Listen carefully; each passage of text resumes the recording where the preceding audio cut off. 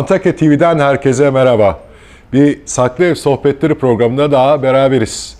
Bugünkü Saklı Ev Sohbetleri programımız özel konsepte hazırlanmış olacak. Çünkü misafirim çok özel. Sevgili e, Barış Atay bizim misafirimiz. Barış hoş geldin. Hoş bulduk. Bütün sohbetimiz sırasında sana ne Barış Bey diyeceğim ne işte Barış Atay diyeceğim. Abi diye sesleneceğim olacak gidecek yani. Eyvallah. Bu arada seni çok seviyoruz. Antakyalılar da seni çok seviyor. Biz Antakya TV olarak da seni çok seviyoruz. Sağ olun. Seninle birlikte olmak bizim için çok keyifli. Neşeli bir e, video çekelim istedim Tabii. sevgili Barış. Ve rahat olalım. Hakikaten bir kafede, bir barda buluşuyormuşuz gibi düşünelim ki zaten buluşmayı da e, sevgili e, Coşkun'un işlettiği, Coşkun Sönmez'in işlettiği Barudi e, Bar Kafede yapıyoruz. O bizi ağırlıyor bugün.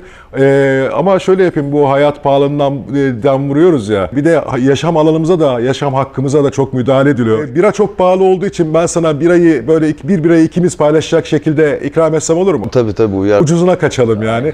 O zaman Coşkun'dan rica edelim bize bir birayı ikiye bölsün getirsin. Tamam. E, bu arada biz de böyle neşeli bir video çekelim seninle beraber. Başlayalım yavaştan. Sevgili Barış, şimdi senin birçok sıfatın oldu birdenbire. Yani hep vardı zaten üst üste geldi. Ve hepsi ön plana çıktı. Bunlardan e, evet sevgili Coşkun da geldi. Çok teşekkürler Coşkun. Rakı bardağında gündüz birası. Evet bu rakı bardağın bir esprisi var galiba değil mi? Yani bilmiyorum böyle içiliyor arada biraz yolluk gibi oluyor. bu. Evet hadi bakalım. Hoş geldin. Yarasın. Sağ olasın. İstersen şöyle başlayalım sohbetimize. Yaşam hakkına müdahale. Yani artık mesela bir video çekildiğinde ne sigara içilebiliyor ne bira içilebiliyor. Ee, insanlar korkuyor. Kadınların her türlü özelliği yasaklanıyor. Oradan biraz siyasi e, boyutuyla başlayalım mı sohbetimize? Yaşam alanımıza müdahale konusunda neler diyorsun? Ya özellikle bu son günlerde ardı ardına birkaç e, haber düştü tabii hepimiz takip ettik. İşte bir festival yasaklandı. Ondan sonra işte Trabzonspor kutlaması sırasında Apolas Lermi ile bir Yunan sanatçının konseri engellendi. Bir ırkçı partinin hedef göstermesi nedeniyle. Hemen ardından bir belediye Kocaeli'de Aynur Doğan konserini yasaklattı. Şimdi Metin Kemal Kahraman konseri yasaklandı Muş'ta. E, bu özellikle sanat üzerinden. Sanatı sadece işte gericilerin içki içiyorlar, uyuşturucu kullanıyorlar, işte aile yapısını bozuyorlar bunlar falan diye hedef göstererek yasaklatmaya çalışması, hakim iktidarın da tabii buna alan açıyor olması e, direkt olarak bir e, yaşam alanına müdahaledir.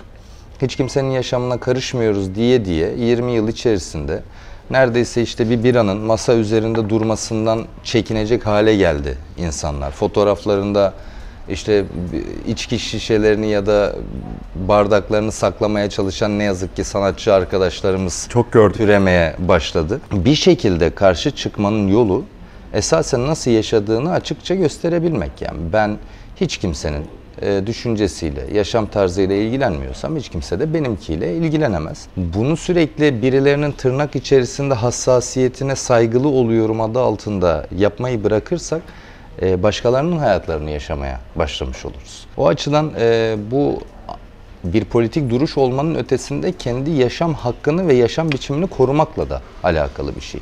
Ben neden olmadığım biri gibi davranayım ki? Ben hayatımda çok az içki içen biriyim. Ama arkadaşlarımla otururken bir bira içmekte benim açımdan bir beis yoksa bunu hiç kimden sakla hiç kimseden saklama gereği de duymuyorum. Sigara içen biriyim. Ee, elbette ki televizyonda yasal olarak çıkıp tele, içemezsin. Sigarayla ilgili kanunlar var, televizyon kanunları ama YouTube'da nedir bilmiyorum. Şimdi bizim videomuzda sansüre girmesin sen sigara içtiğimiz için. Ee, şöyle bir şey olmuştu. Ben hatırlarsın 2015'te Eksik diye bir film çekmiştim. Evet hatırlıyorum. Oynadığım karakter de çok fazla sigara içiyordu. E, film sonra işte bir dijital platforma e, satıldı. Orada gösteriliyor. Bir baktım ben ağzımda sürekli blurlu bir şekilde. Sürekli e, aynen aynen. E, yüzüm görünmüyormuş meğersem. Yani o yüzden buna e, çok net bir duruş sergilemek lazım.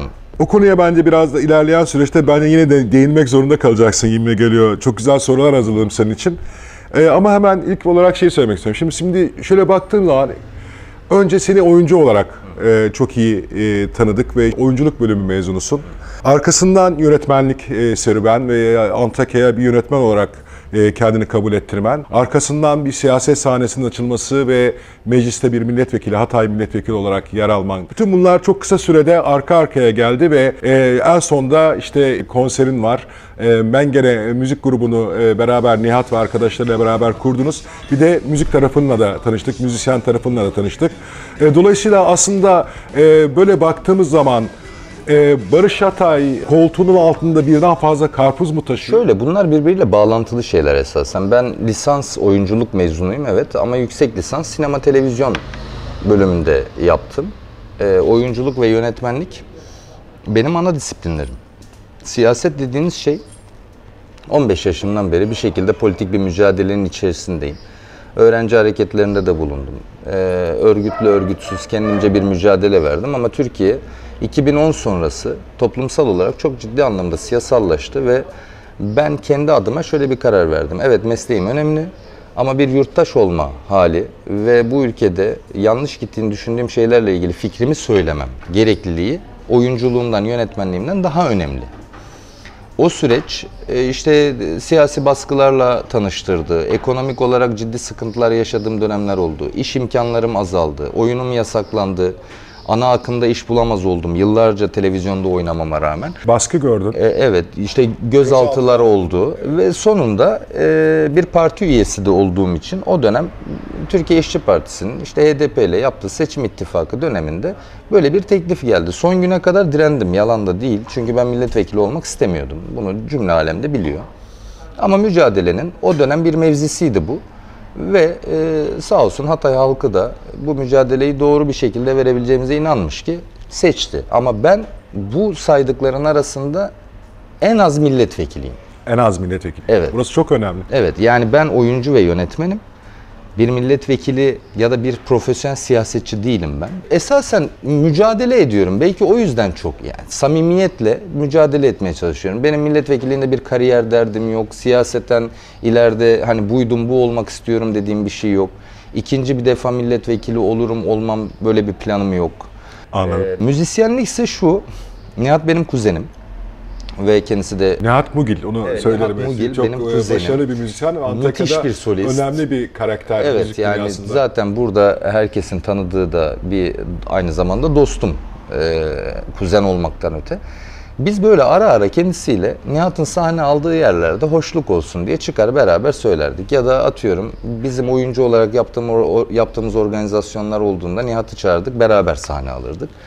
Geçtiğimiz yıl şey dedi biz bunu niye profesyonelce yapmıyoruz? Hani ben müzisyen değilim ama doğal olarak konservatuar döneminde işte şan dersi aldınız. vesaire aldım. Bir kulağım var ama Nihat gibi bir solist değilim tabii. Fakat bizim kimyamız tuttu diyelim. O enerji tuttu ve Mengene doğdu. E, Mengene de bizim aslında soyadlarımızdan gelme. Ben Mengüllüoğlu, o Mugillioğlu. Çok enteresan. Tabii şeyin e, mengene mengli aslında Arapçası zeytinyağı mengenesi o mengüllü sülalesi biliyorsun zeytinyağı yapan bir sülale. Kelimenin e, sözlük anlamına bakınca da çoğu po- e, protest duruşunuza da e, Tabii, yakışıyor. yani işte isim. aile de öyle. evet, evet doğru. Yani böyle bir şey oldu. Benim için tabii müthiş bir keyif. Şöyle tanımlıyorum. Ya Türkiye gibi çok zor koşullarda yaşadığın, mücadelenin çok e, bazen psikolojik olarak da çok baskın olduğu ya da seni baskıladığı dönemlerde o sahneye çıkıp iki saat şarkı söylemek hem ruhen temizleyen bir şey. e, hem o motivasyonu, o enerjiyi tekrar sıfırlayan ve yeniden başlamanı sağlayan bir şey. Ee, ve aslında bir yanıyla da yaptığımız müziği düşününce o politik mücadeleye katkısı olan da bir şey. Ee, o yüzden bunların hepsi birbiriyle bağlantılı neticede. Ben e, e, sohbetimizin akışında e, kafamda şöyle bir plan yaptım. Dedim, bir söyle sosyal neşeli bir soru sorarım. Bir de araya bir siyasi soru sıkıştırırım diye. Ama e, şimdi hemen bir siyasi soru araya sıkıştırırım bu güzel sohbetten sonra. Biz biraz şanslı görüyoruz kendimizi Antakya TV olarak. Çünkü sen her an yasaklanabilirsin. Her an gözaltına alınabilirsin. E, hemen her an milletvekilliğin düşebilir. E, e, ve başına her an bir şey gelebilir yani hem siyasi anlamda Umarım gelmez. e, sanatçı kimliğin e, itibariyle. O yüzden daha bunlar senin başına gelmeden biz seni yakaladık bu videoyu çekiyoruz. E, bir kere oradan bir avantajımız var. Ama sence e, yakın zaman içinde e, bizi bekleyen seçim sürecinde, e, seçim ikliminde, siyaset iklimi daha da sertleşir mi? Neler olur? Yani bir kere kesin olarak sertleşir iklim. AKP ve MHP bloğu 20 yıllık bu iktidar sürecinin en zayıf noktasını yaşıyor. Güç olarak da, taban olarak da, oy oranı olarak da ve toplumsal inandırıcılık olarak da. Ciddi bir ekonomik kriz var. Müthiş bir sosyolojik yozlaşma söz konusu. Ee, ve doğal olarak e, AKP'nin dilinin artık kendisine oy verenlerin ciddi bir kısmında dahi inandırıcı bulunmadığı ya ama yeter diye karşılandığı bir süreç yaşıyoruz. Şimdi böylesi bir iktidar modelinde iktidar partisi iktidarda kalabilmek için bütün baskı araçlarını, devletin zor gücünü e, toplumsal olarak hissettirme ihtiyacı duyar. Fakat bir yandan da e, müthiş bir antidemokratik sürecin sonunda insanların dayanamadığını ve buna karşı duracağını beyan ettiği bir süreçte yaşıyoruz. Yani toplumsal anlamda muhalefetin de sesinin yükseldiği bir dönem bu. O yüzden mesela son Canan Kaftancıoğlu örneği çok e, doğru bir örnek olacak söyleyeceğim. Arkadan seni de yasaklarlar diye düşünüyorum ama. Onu söyleyeceğim. Mesela Canan'ı tutuklamamak için resmen matematiksel hesap yapılmış. Öyle. Yani 5 suçlamadan ikisi düşürülmüş, 3'ü alınmış, 5 yılın altında ceza verilmiş. Ama sonra serbest kalacak fakat ne olacak? Siyasi yasak konulacak. AKP, MHP bence bu dönemde toplumsal muhalefete itici güç olabilecek siyasetçileri siyaset yasağı yoluyla yoldan çekme planı yapıyor. Buna Ahmet Şık dikkat çekmişti. Ee, Ekrem İmamoğlu için de böyle bir şeyin olabileceğini söyledi. Bence siz de yoldasınız gibi görünüyor. O ihtimal elbette seçim döneminde var. Hani bize dava yoluyla bir siyaset yasağı konulamasa bile YSK eliyle aday olamaz gibi bir şey e, çıkarılabilir. Bunların hepsi olası. Burada görmemiz gereken şu, bu bir bayrak yarışı. Sonuç itibariyle eğer toplumsal olarak şunu sağlayabilirsek ya da sağlayabilmişsek bence korkacak bir şey yok. Sadece bu insanlar var mücadele edecek algısından çıktıysak bizlerin yerine de şu insanlar da mücadele edebilir diyebiliyorsak artık bence o bayrak yarışı sonuna ulaşır. Yani seçime giden bu bir yıllık süreç diyelim. Biraz yoğun, yorucu, e, çokça bizim açımızdan kaotik geçecek. Geçecek. Ama AKP, MHP açısından onların hayal ettiği sonucu sağlamayacak.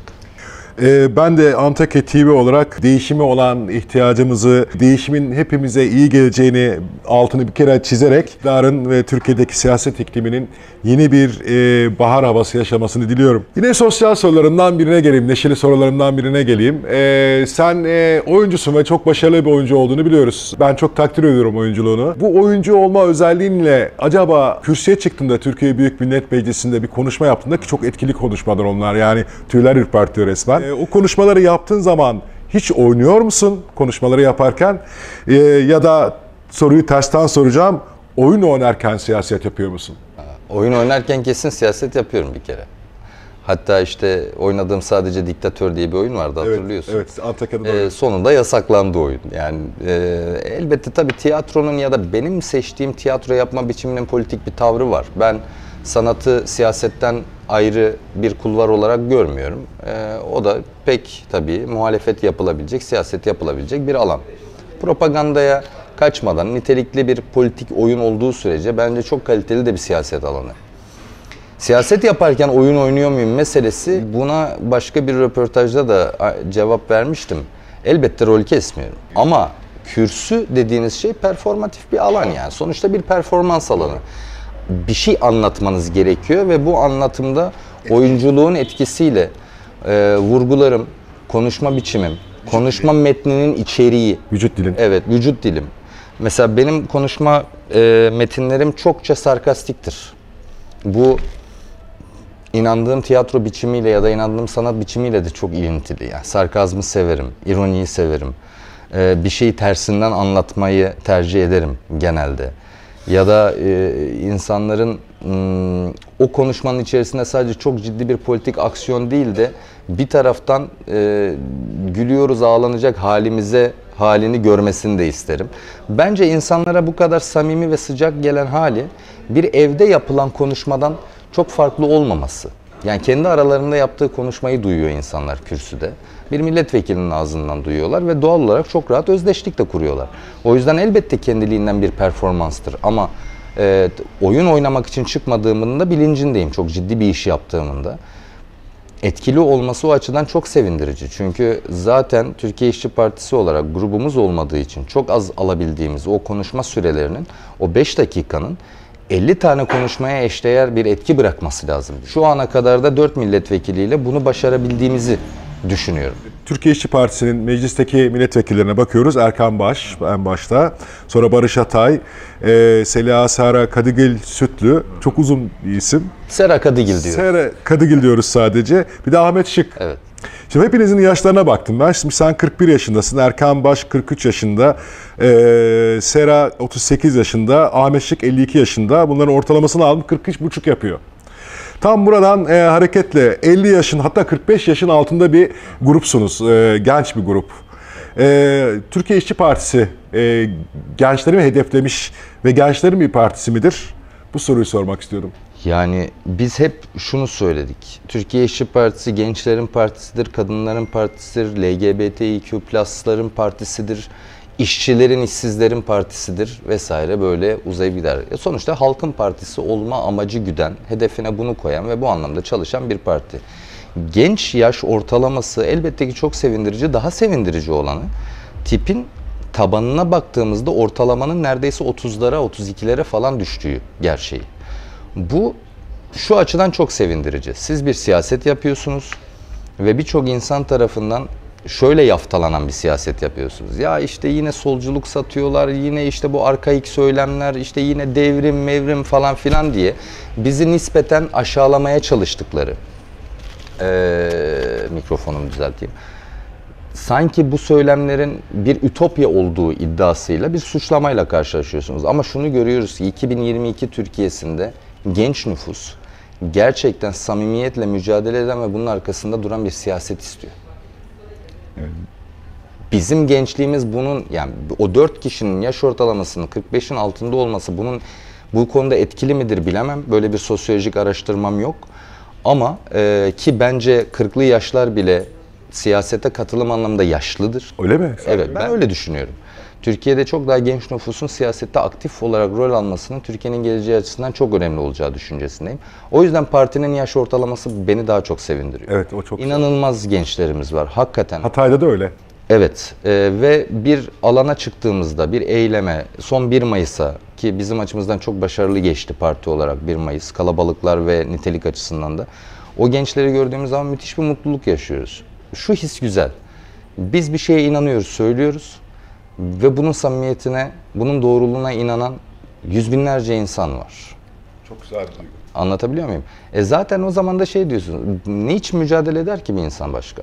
Bunun için mücadele eder. Ya bizim siyasi olarak buradan bir kazanç kaygımız yok. Buradan zenginleşme kaygımız yok. Siyasetin rant için yapılmasına yekten karşı duran bir siyasi anlayışımız var. Türkiye'de gerçekten eşitlikçi, özgürlükçü, kamucu, halkçı bir siyaset anlayışını savunuyoruz. Ve 20 yıllık iktidarın sonunda hesap vermesi gereken bir yönetici sınıfın varlığını sürekli ifşa ediyoruz, teşhir ediyoruz ve bunun için mücadele edeceğimizi söylüyoruz. Eğer Türkiye gibi genç bir ülkenin genç nüfusu buna bir şekilde teveccüh gösteriyor ve inanıyorsa demek ki bir yerde doğru bir iş yapıyoruz. Evet, e, ben şeyi çok merak ediyorum abi ya. Onu bana bir cevaplarsan e, çok sevineceğim. E, Türkiye İşçi Partisi yönetiminin, e, yani parti yönetiminin, senin, milletvekillerinin, diğer millet, e, bir e, parti ile ilgili bir e, toplantınız nasıl geçiyor? Mesela Türkiye İşçi Partisi'nin toplantısında neler oluyor? E, mesela uzun bir e, toplantı masasının etrafında e, e, toplanıp ciddi konuşmalar yapıp yuvarlak masa etrafında öyle genel başkan, genel başkanın işte sekreterleri falan böyle bir tablonuz mu var? Yoksa belki de bir barda oturup böyle içki içerek de mi? E, nasıl oluyor toplantıları? Şöyle toplantıda barda içki içerek olmuyor. Ee, daha ciddi bir formatı oluyor. Ama böyle yuvarlak masa etrafında mı oluyor? Ya şöyle, şimdi bizim iki tane yönetici e, birimimiz var. En üst düzey. Biri parti meclisi. E, parti meclisimiz de ciddi anlamda e, kalabalık, e, yüze yakın insan. Bir de MYK, Merkez Yürütme Kurulumuz var. O da 12 kişiden oluşan bir karar alma organı. MYK her hafta toplanır, parti binasında toplanır, toplantı odasında toplanır. E, PM ise ayda bir, iki ayda bir ya da ne kadar ihtiyaç duyuyorsa o şekilde toplanır. Biz elbette ki çok ciddi konuşmalar yaptığımız, birbirimizi kıyasıya eleştirdiğimiz ya da e, yapacağımız siyasete dair ciddi önerilerin verildiği ve kararların alındığı bu iki yürütme organında siyaset yapıyoruz. Ama şu halimizden çok farklı siyaset yapmıyoruz. Yani gülebiliyoruz, eğlenebiliyoruz, espriler yapabiliyoruz ama ciddi bir şey yaptığımızın da farkında oluyoruz sonuçta.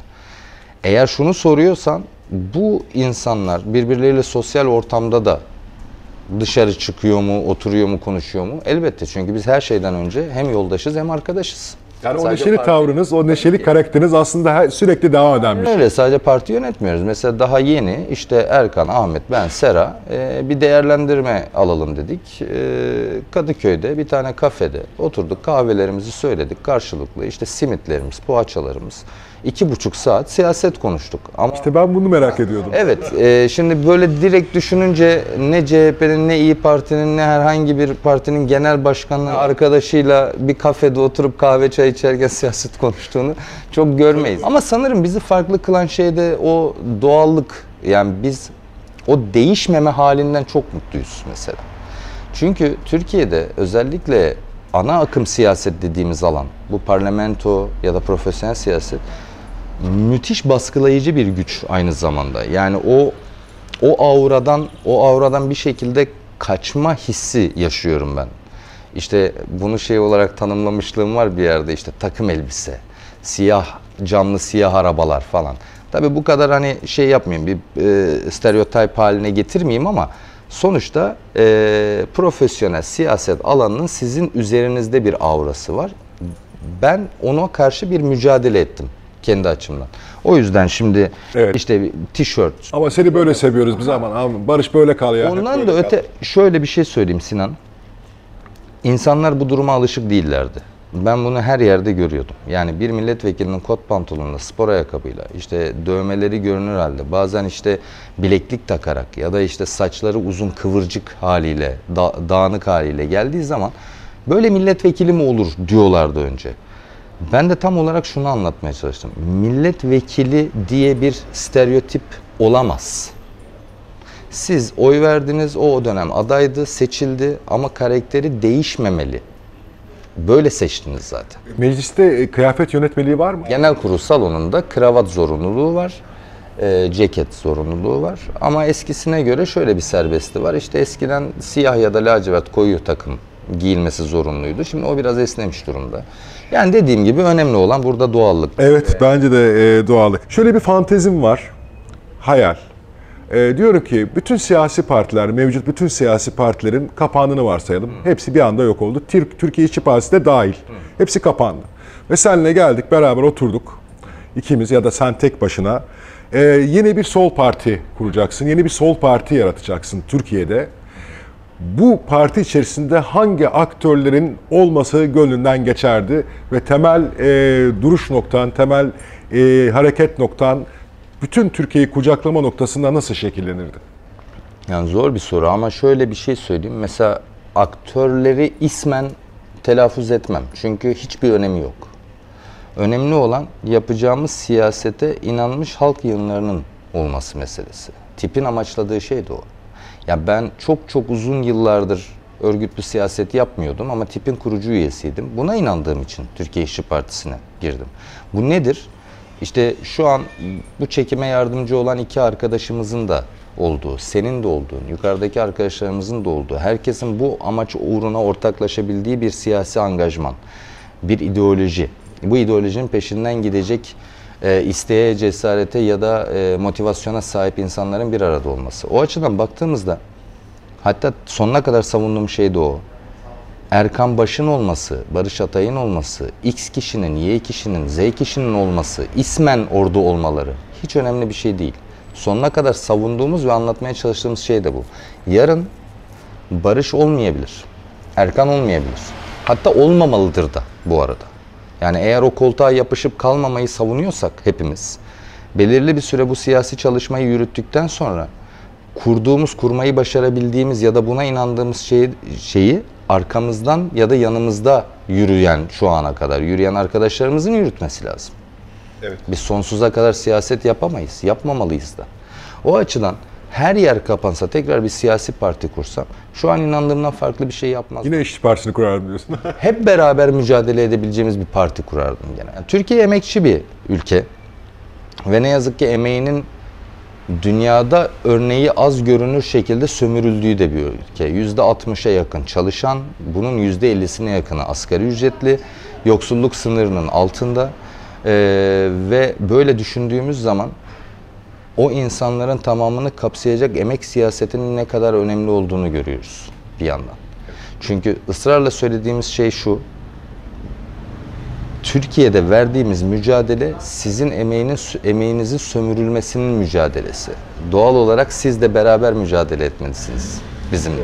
Ama biz sanki bütün bu sohbetimiz sırasında bir şeyi çok ihmal ettik sevgili Barış. Nedir? Antakya, Antakyalı olmak, Armutlu'da doğmak, Armutlu çocuğu olmak. Biraz oralardan konuşsana. Mesela Antakya'nın ya da Armutlu'nun dününü bir e, yorumla bize, bugününü bir yorumla. Bir de yarın için neler dersin? E, Antakya'dan biraz bahset abi bize. Şöyle, ben her zaman yani bilen bilir tabii birçok yerde konuşmuştum var. Antakyalı olma haliyle gururlanmak doğru kelime olabilir. Gururlanan da biriyim. Yani ben buranın tarihini, buranın demografisini, yapısını, sokağını çok seviyorum. Oğlumun adı Asi mesela. Ah ne güzel. Anlatabiliyor muyum? Yani işte Asi Nehri'nin benim hayatımda bir önemi var. Ve e, sağ olsun annesi de bu önemi hissetmiş ve onun teklifiydi mesela. Baran'ın yanına Özel bir Asi- şey değilse onu paylaşır mısın? Asi Nehri'nin sende hayatındaki özel bir anısı mı var? Mesela ilk sigara içtiğimiz yer Asi Nehri'nin kenarına. Aa, öyle şeyler. Sigara da seviyorsun galiba bana. Ee, evet bu bu kısmı seviyoruz demeyelim de. Şey yani hani arkadaşlarımızla toplaşır anneden babadan gizli sigara içeceğiz. Nereye ineceğiz? İşte biz o zamanlar biz o zamanlar vata derdik. Saha. Aa, Sahanın oradan Asi Nehri'nin kıyısına inerdik Süper. orada içerdik. Oradan bir şey Anlatamıyorum. geldi, Yani bizi hani gizleyen yer Evet. gibi daha yaşımız işte ortaokul oradan başladı bir. Asi Nehri'yle. Şimdi ve, sonuç itibariyle benim annem işte Reyhanlılı, Amik Ovası'ndan Evet, e, onu mutlaka pamuk. belirtmek istiyorum. Sevgili Nihal e, Mengüllüoğlu çok çok çok çok sevdiğimiz. Antakya'nın en önemli siyasi kadın aktörlerinden biri. Önemli görevler üstlenmiş. Şu anda da hala hazırda çok e, sıcak sıcağı sıcağına siyaset yapan çok değerli bir ablamız. Çok değerli. Bizim de gazetemizin de Antakya Gazetesi'nin de uzun dönem köşe yazarlarından Aynen, biridir. aynen. Yani şimdi öyle bakınca işte Asi Nehri, Amik Ovası işte ne yazık ki kurutuldu ama Amik Gölü hani ben yetişemedim. Bu işte Samandağ'ıydı, İskenderun'uydu, Hatay'ın bütün ilçeleri eee, bir şekliyle benim buralı olma hissiyatıma katkıda bulunan yerler. Ama Antakya bunlar içinde en özeli. Çünkü işte doğdum, büyüdüm, çocukluğum, gençliğim burada geçti. Her sokağında bir anım var arkadaşlarımla. Şu gördüğümüz mahallede her mekanda oturup kalkmışlığım var. İnsanları tanıyorum. Şey hissi çok güzel. Yani ben hiç İstanbullu olmadım. Ee, 2004'ten bu yana İstanbul'dayım. 18 yıl olmuş. Üniversiteyi orada okudum, işimi orada kurdum, ailemi orada kurdum vesaire ama o Antakyalı olma hissinin yerini hiçbir şey almıyor. Çünkü sabah kalktığımda evden 100 metre ötede çay bahçesine yürürken insanlara günaydın diyebilmek, herkesi selamlaşabilmek, o mahalle kültürünü hala yaşıyor olabilmek. İşte ben hep Armutlu'luydum, Engüllü köyündenim diyebilmek. Ee, bunlar sizi özel hissettiriyor. Bu dünü böyleydi. Günü günü konuşursak ne yazık ki AKP'nin yarattığı bu yozlaşmadan bir şekliyle kaçamamış bir mahalle görüyoruz. Uyuşturucunun ne yazık ki gençlere çok sirayet ettiği, kentsel dönüşüm meselesinin sirayet ettiği, o kaosun yaşandığı gördüğümüz bir mahalle haline belki diğerlerini göre nispeten daha az ama hakim iktidarın Türkiye'de yarattığı bu durumdan azade değil. Anlatabiliyor muyum? Yani bu gerçekliği de konuşmamız lazım. İşsizlik had safhada, insanlar yorgun, mutsuz, bu mutsuzluk mahalle yaşantısına da yaşıyor. Biz birbirimizi çok seven, çok bağlı insanlar olduğumuz için nispeten az hissediyor olabiliriz. Ama Türkiye'nin her yerinde olduğu gibi burada da var. Bunun çözümü nedir? Başta bu majör iktidarı göndermek, sonra sosyolojik olarak e, çalışma yapmamız. Sadece Armutlu için değil, sadece Antakya için değil. Toplumsal olarak, bütün Türkiye satında söylüyorum bunu. Eğitim sisteminin değişmesi lazım. Tekrar bir jenerasyon yetiştirmemiz lazım. İnsanların insan olma halinin ne olduğunu anlayabileceği bir hayat yaratmamız gerekiyor.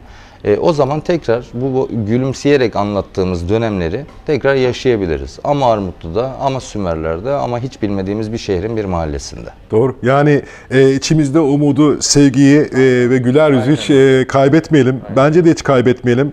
E, Valla çok güzel bir sohbet oluyor e, Barış. E, çok güzel, çok değerli bir sohbet ama YouTube videolarının bir özelliği varmış. Kısa videolar izleniyormuş, uzun videolar çok izlenmiyormuş. O yüzden bir yerde bitirmem gerekiyor. Ama e, izin verirsen e, ben e, bu e, güzel videomuzun, Saklı Ev Sohbetleri videomuzun finalini tamamen sana ve senin özgün yaratıcı fikirlerine bırakmak istiyorum. Antakya TV'nin bir konuğu olarak bu videomuzun finalini Barış Atay'ın e, yaratıcı özellikleriyle nasıl sonlandırırdın? Ne deyip bitirirdin? Bu ilginçmiş. Ya şöyle söyleyeyim. eee, yaratıcı mıdır değil midir bilmiyorum ama ben normalde karakter olarak çok optimist bir adam değilimdir. Öz itibariyle. Şimdi geleceğe dair konuşurken o kadar umutlu konuşuyorum ki insanlar diyor ki ya biraz fazla optimist değil misin? Yani gerçekten bu kadar güzel günler görecek miyiz vesaire. Ben hep şuna inandım.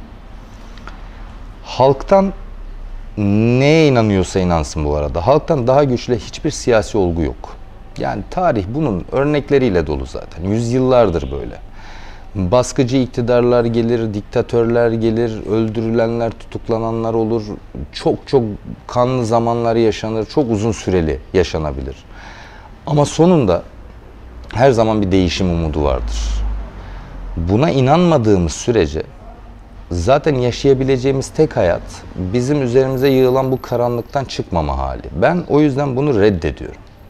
İnsanların da reddetmesi gerektiğini düşünüyorum. Bunu sadece kendi adıma da yapmıyorum. Gittiğim her yerde söyledim. Benim 6,5 yaşında bir oğlum var. Ben 41 yaşındayım. Öyle ya da böyle Türkiye'nin bu karanlık siyasi tarihinde bir şekilde yaşama deneyimi elde ettim. Yani ben doğdum. Darbe yeni bitmişti. Sıkı yönetim vardı. Özal geldi, Demirel geldi, Çiller geldi. O geldi, bu geldi. Sonunda Erdoğan geldi ve o 40 yıl boyunca esasen tırnak içerisinde gülümseyecek bir hayat yaşamadık diyebiliriz. Ama her şeye rağmen o umudu hep var ettik ve her defasında yeniden umutlandık. Türkiye ne olursa olsun AKP MHP'den sonra kendisinin dahi önünde duramayacağı bir değişim dönemine açık. Çünkü dünyada da Türkiye'de de konjonktürel olarak bir değişim dönemi yaşıyor, yaşanıyor. O yüzden ben 80 darbesinden AKP iktidarının kuruluşuna kadar planlanan ve AKP'nin de 20 yıllık iktidarıyla devam eden bu 40 yıllık sürecin önümüzdeki dönem, bakın sadece AKP iktidarı, bu 40 yıllık sürecin hem siyaseten hem toplumsal olarak biteceğini düşünüyorum. Bundan sonrası bizde. Eğer ha tamam gittiler deyip sadece o psikolojik rahatlamaya yaslanıp hiçbir şey yapmamaya devam etmez edersek problem. O zaman bir şey değişmez. Ama evet ben bundan ders çıkardım ve bundan sonra gelecek bütün iktidarlara bu ülkeyi nasıl yönetmesi gerektiğini ya da yaptıkları hataların bedelini öde, ödeyeceğini anlatırsam, anlatırım diyorsan o zaman müthiş bir değişimin bir parçası olacağız. Ve o zaman çok daha keyifli sanat sohbetleri yaparız. Aralara siyaset sorusu sormana gerek, Gerek kalmayacak. kalmaz. Peki çok teşekkür ediyorum ben, Ben teşekkür sana e, bizi e, kırmadan e, bizimle buluştun. Bir Saklı Ev Sohbetleri programının daha sonuna geldik. Bu özel bir video, videoydu ve bu videoda e, %100 yerli bir hemşerimizi, %100 yerli bir sanatçıyı, %100 yerli bir siyasetçiyi, Essah bir Antakyalı'yı ağırladık. O da Barış Atay'dı. Ee, ona çok teşekkür ediyor. Bir başka Saklı Ev programlarında, bir, bir başka Saklı Ev sohbetleri programında buluşmak üzere. Hoşçakalın diyorum. Hoşçakalın.